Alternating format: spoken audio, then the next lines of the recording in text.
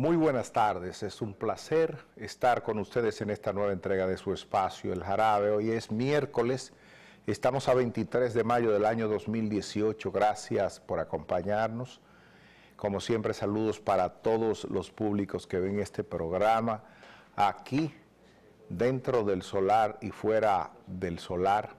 Gracias a los que ven por internet en cualquier parte del mundo, teleradioamerica.com es el lugar para ver este programa por internet. Gracias a los que nos ven en Estados Unidos, Canadá y las islas del Caribe a través de Televisión Dominicana.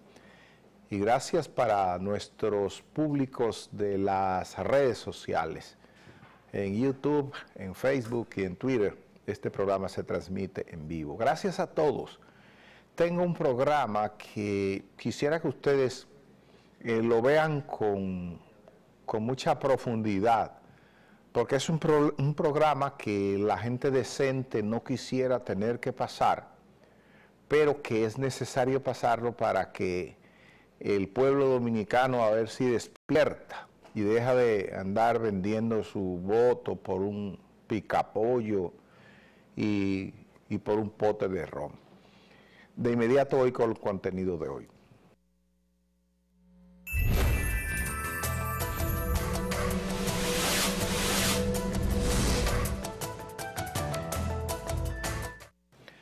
Ayer pasé un video de una situación que se dio en Bávaro, eh, donde unos choferes, eh, dirigentes de un sindicato de choferes, no me lo pongan todavía el video, por favor, prácticamente asaltaba en el medio de la calle a un transportista de un hotel que llevaba a unos pasajeros huésped que vinieron aquí a visitar al país. Antes había hablado de un informe que hizo Oxfam sobre cómo en las habitaciones y las zonas más famosas de, de, aquí, de la República Dominicana, conocida en el mundo, por ejemplo, como los complejos turísticos de Punta Cana, cómo allí se explota y se abusa de las camareras, cómo trabaja ese personal, qué hay detrás, debajo de tanta belleza, que debería darnos vergüenza, a ellos debería darles vergüenza. Ocurre que he recibido un, un par de correos de gente del turismo diciendo que soy enemigo del turismo y de la república y que ese tipo de cosas no deberían divulgarse como si el problema fuera que se divulguen. Para mí el problema es que eso ocurra. Lo que ocurre y está mal, el remedio es que no ocurra, no que lo callemos. Entonces decidí volver a colocar el video de ayer para que ustedes vean si una cosa como esa debe o no conocerse, discutirse y resolverse. Vamos a verlo. Buenas tardes.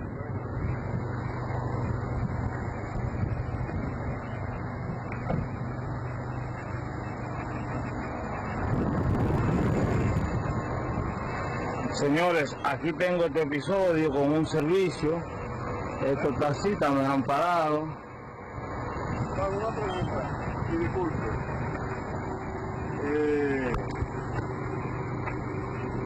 quítame la cámara. Ese teléfono es mío. Usted me está cerrando la carretera de Ibero está. No, yo no. O sea, ustedes los taxistas.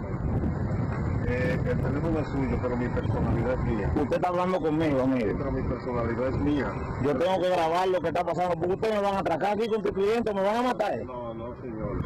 No, señor. Lo que pasa es ¿Qué usted quiere hablar conmigo? Dígame. que no tengo una autorización para. Que yo no tengo una autorización. ¿Tú eres inspector de turismo? Espérate, espérate. ¿Tú eres inspector de turismo? Vamos, ven acá. Llama. ¿Qué lo que tú me dijiste? Vamos a chequearlo, yo veo raro ahí. No, no, no, meneo raro no. Ustedes lo que tienen que hacer. Ustedes, si no si es un taxi, te lo va a piar. Óigame, es que yo no soy taxista, aquí los taxistas son ustedes. Pero ustedes son un irrespetuosos, porque usted, usted debió llegar al lobby a ver lo que estaba pasando. No venir a cerrarme la carretera, porque ustedes son los dueños de Bávaro. Miren, señores, esta es la situación. Ahora vamos para donde los clientes vengan.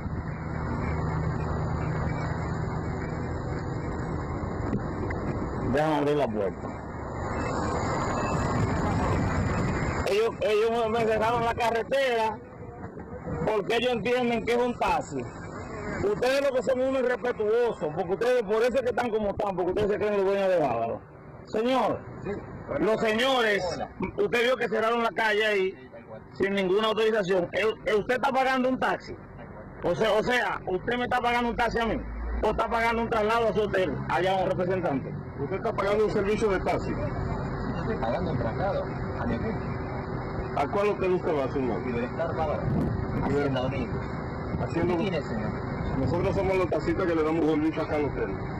No, no son los únicos. A ver, yo soy turista. Bien. Usted que ponga, yo vengo con mi familia.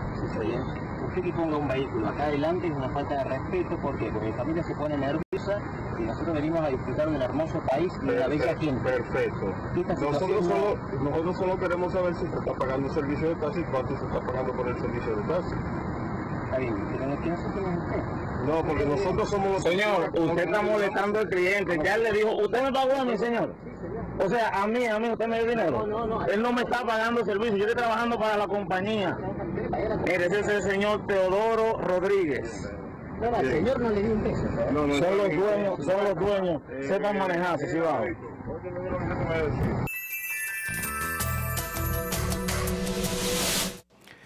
Eso no hace daño que se difunda. Hace daño que ocurra porque ese señor turista y su familia que se asustaron cuando vieron que estos bandoleros le atravesaron sus autos en la calle, ese señor no va a volver aquí, o por lo menos va a contarles a sus amigos, oye, lo que me pasó ahí, yo me asusté, creí que me iban a matar con todo. Pero el problema no es que yo difunda eso. Yo no perjudico al turismo con difundir eso. Perjudican al turismo el gobierno con permitir un bandidaje similar. Aquí porque no hay ningún tipo de garantía, porque el gobierno se hace de la vista gorda y se hace cómplice de ese tigueraje.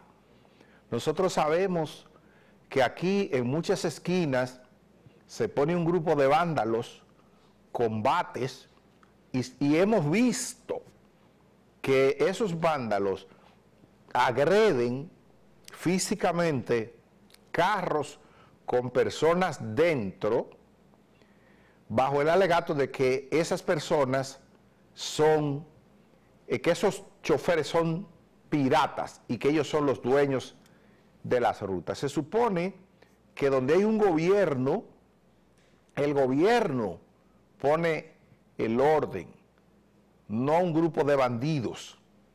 Entonces, eso pasa aquí cada cierto tiempo, cuando un grupo de camioneros van y bloquean e impiden que una compañía que tiene su propio camión transporte su mercancía o que contrate a alguien que le dé el servicio más barato. Y el gobierno se ha asociado a esa banda de malhechores y permitir que eso ocurra en una carretera turística, llegando a un hotel, eso es lo mismo que arruinar la imagen de, lo- de la hotelería dominicana y del turismo dominicano a nivel mundial. Entonces después, en lo más fácil que hay es decirnos a nosotros que nosotros somos desacreditadores del turismo y que somos antipatria.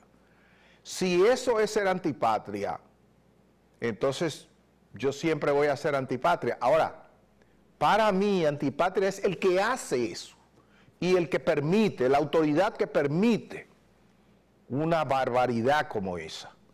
Entonces, me acusan como quiera, pero que sigan acusándome. Yo quería volver y ponerles a ustedes ese acto para que sean ustedes quienes juzguen y digan si consideran que eso es correcto o eso es incorrecto, o que digan si realmente el que está haciéndole daño al país soy yo, o son los que hacen eso y los que permiten que eso se haga. Vamos a la pausa.